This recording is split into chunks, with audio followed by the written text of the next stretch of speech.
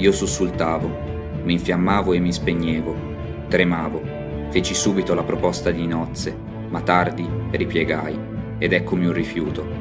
Che pena delle sue lacrime, ero più beato d'un santo. Scesi sulla piazza, potevano credermi nato per la seconda volta. Ogni inezia viveva, e senza avermi in alcun pregio si levava nel suo significato d'addio. L'ardesia si infuocava e la fronte della via era abbronzata e guardava nel cielo in cagnesco i ciottoli. Ed il vento come un barcaiuolo remava per i tigli.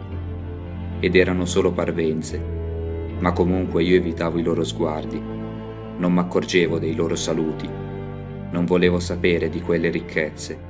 Svicolavo per non rompere in lacrime. L'istinto innato, vecchio adulatore, era per me insopportabile. Avanzava al mio fianco di soppiatto e pensava, fiammata di ragazzo, per sventura lo si dovrà seguire ad occhi aperti. Fa un passo e ancora un altro.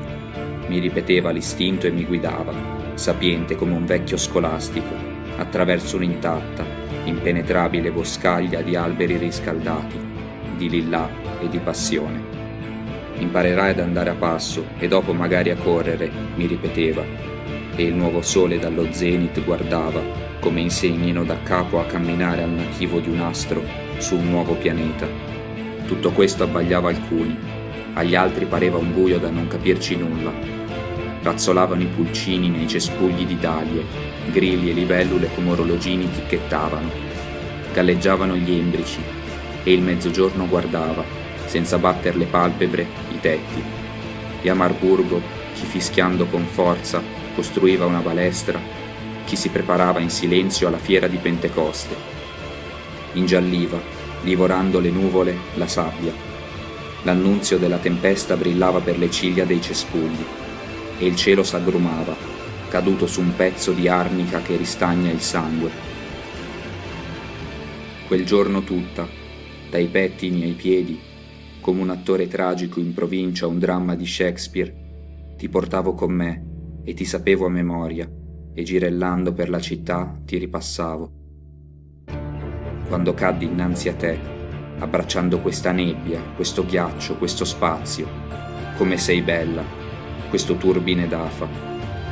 Di che parli? Torna in te. È finita, sei respinto. Qui viveva Martin Lutero, là i fratelli Grimm, tetti unghiati, alberi, epitaffi, tutto li ricorda e si protende verso di loro, tutto è vivo, e anche queste sono tutte parvenze. No, io non vi andrò domani. Il rifiuto è più completo dell'addio. Tutto è chiaro, siamo pari. Il trambusto della stazione non è fatto per noi. Che ne sarà di me, vetuste lapidi?